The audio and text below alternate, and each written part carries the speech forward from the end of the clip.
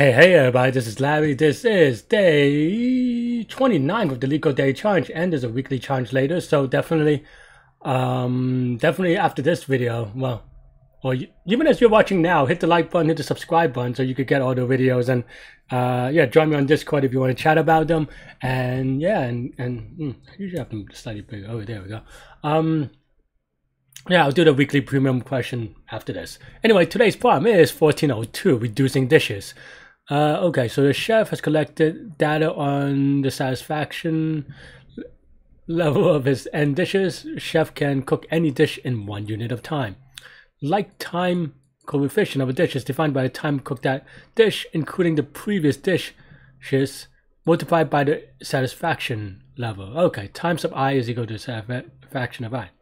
Return the maximum sum of like time co coefficient, say what, that the chef can obtain after dishes preparation. Okay. The dishes can be prepared in any order. I, am I'm guessing this is a hard because I'm a hard, I, I'm having a hard time reading this in general, but alright. Um, okay, let's see.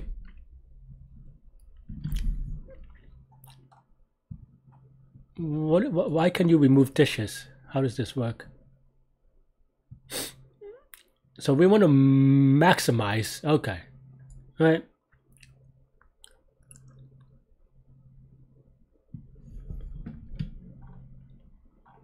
How does this work? So, okay, so the first dish, so uh, it's such a weird thing, but first dish is, uh, gets a score of 1 to the ending, 2, and then 3. Okay, that makes sense, but I'm trying to figure out Oh, I see. um, I see, I see, I see. I, I was thinking, I was wondering why. Um, so my the, the, some of the initial confusion is that my intuition is just why not just choose the positive numbers? Um, you know, like why why are we doing negative one if we can choose any number of them, right? Um, eh, and that part wasn't super clear, maybe, but. Uh, uh, and you can just I guess it's actually clear. I just didn't read the last sentence. Okay, take that back. But um, but okay. But but I think for this one, the idea is that um, you know you can um, you know this one get, adds a negative one score, but it adds a five because it goes you know five here, right? So okay. I think I understand the question, and the, I think the way that I'm going to try to do it is still going to be greedy and um, partially greedy in that or mm, maybe another way of phrasing it is is uh, I'm going to try to do this in the most brute force way. No, that's that's too far. Not the most brute force way, but a brute force greedy combination is why I'm trying to go for. What I mean by that is just having a strategy. My strategy is that basically, you know, you have some array, um, and you want to match it to, you know, times one, times two, times three, dot, dot, dot. And the way that I would initially, you know, my initial intuition is probably still true, which is that we can, we can sort, right? Um, the sorting is going to be greedy and it makes sense in a very intuitive way. Let's ignore negative numbers for now. Let's say we have zero and positive numbers. Then it makes sense that if you sort it, the largest number go to the back so that, you know, the, has some, uh, uh, uh, it has a higher multiplier, right? I think hopefully I don't need to draw it out for people to understand that. Uh, I think it makes sense. The larger number goes to the back and then multiply. So then what, of course, that's in the case of without any negative numbers what can we do with the negative numbers, right? Well, we still sort by a negative number, but then now we can maybe do some sort of shift and add and then and then brute force that, right?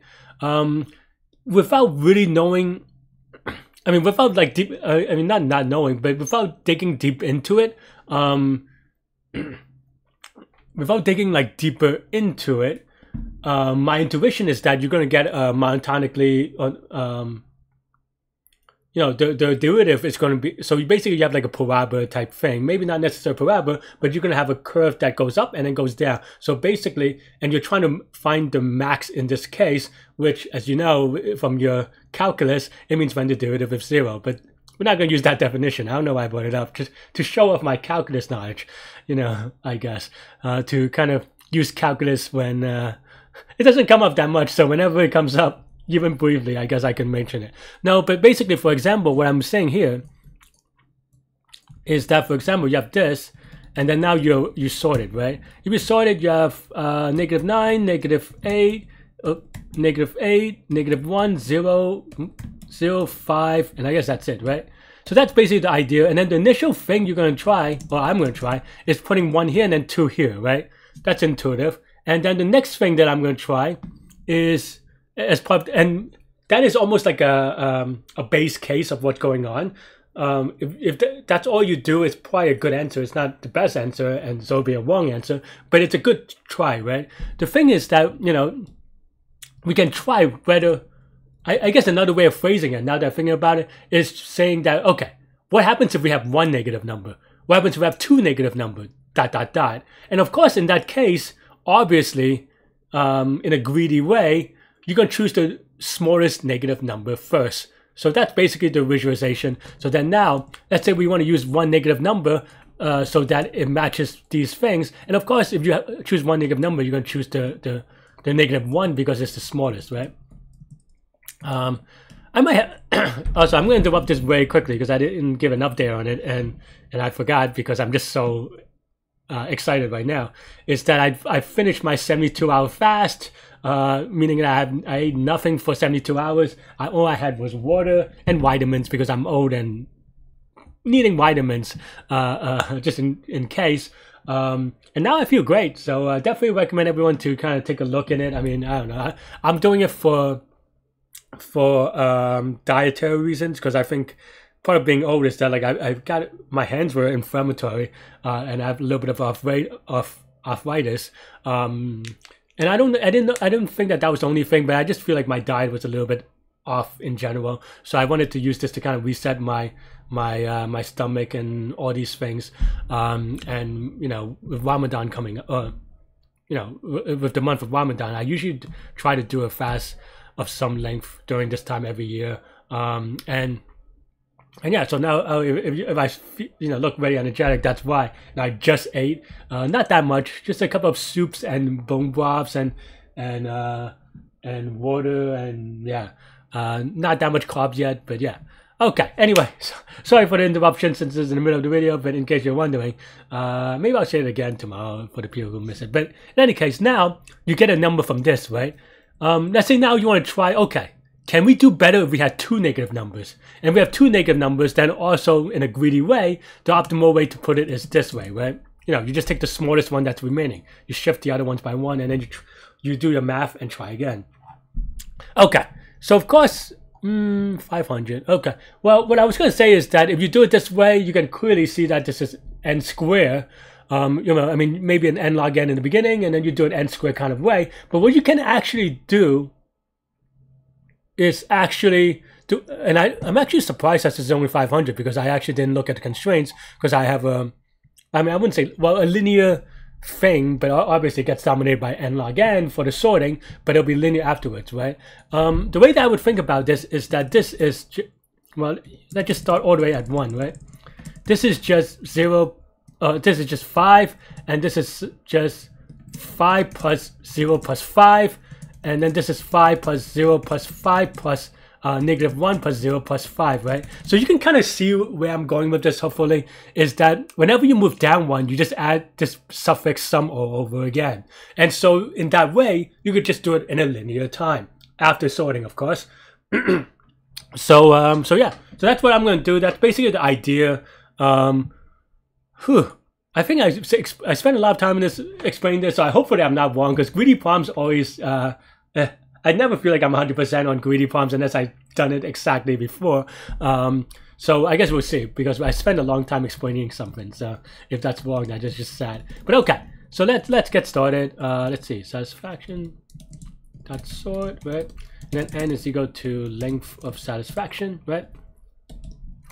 Um, and then I mean I, I know that uh, my my basis starts with uh zero and positive as a good place to start, and it is. But now that I'm looking at it like this, it almost doesn't even matter, almost right? Because you can just start from five and then just we'll just do everything is what I mean. So it, I, I'm not as um, you know, like I'm not worried. Oh, like it's a simple right, way to write the code, um, and I don't have to like separate it out in a different case. And these are the things that you kind of you know, as I always kind of preach, as you get from practice and kind of noticing it. Um, you know, you have an original strategy, and then you know play around with it and and figure it out. Okay, so basically now we have a total. Um, we, we probably have like three variables. We have a best, this is what we return. And at the worst case, we return no dishes. So we would just set this to zero. That's the sentinel value. We have a total, which is the current total that we're adding. And I want to say that, uh, uh, kind of go back a little bit. The reason why I know that there's going to be like a, uh, uh, it's not parabolic, but, but that kind of like, uh, monotonically, it's not monot, what does that say? Yeah it's not monotonically. Uh, there's a. It's a monotonic function, I think. Maybe I'm using the term wrong. It's been a while. Uh, but basically the same thing that you get from a ternary search. So actually, I guess if you really want, you can also use a ternary search on this.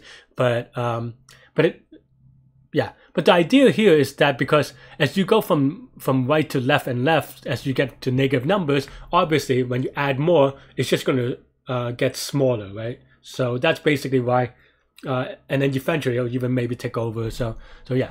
Anyway, total is the the uh, cumulative cumulative sum, uh, and then maybe like last is equal to uh, last layer sum or something like this, right? So that we can just kind of do this in a good way. You'll see what I mean in a second, hopefully. Uh, and then now we're counting backwards. Always awkward to, to read in Python, to be honest, but uh, okay, so then now, first of all, we do um, we do last plus uh eh, should rename this A or something. it would be easier to write, right? And then we have total add this to the last layer, and then now best is equal to max, best, and total. And in theory, once total is smaller than best after it, or I guess at any time is smaller than best, you probably could break. But if I was in a contest, I wouldn't really risk it, right? So let's just do it this way. All right, let, let's um, let's give it a spin. Let's give it a submit. And here we go. Now we're good. Um, I mean this this is a this is a 12 minute video, and I know I talked about my diet a little bit, but you can see that, uh, and this is the kind of stuff that I always kind of um like when I'm talking about talking to someone who is maybe newer to uh, programming or not programming, just like these kind of competitive interviewee uh, programming problems, is that they look at the code and they're like, oh, it's like five lines of code. Like, how hard is this problem? It just must be very easy. But as we kind of talk about, there are a lot of like different steps and logic that goes into it. Um, and in fact, like it took me a, like I, I didn't really, you know, like it took me a little bit of time to kind of get it to to to this code. Um, so yeah, so definitely don't be, you know, don't feel don't feel bad if your code is like a 100 lines i guess is what i mean. Because these things you know and you have different strategies and you have to prove greedy if you really want uh, uh intense about it and all this stuff. So i don't know. Uh, anyway um yeah that's all i have for this one. Let me know what you think. Let me know how you did. Let me know if your code is just as short. Um yeah. Stay good. Stay healthy. To good mental health I'll see y'all later and take care. Bye bye.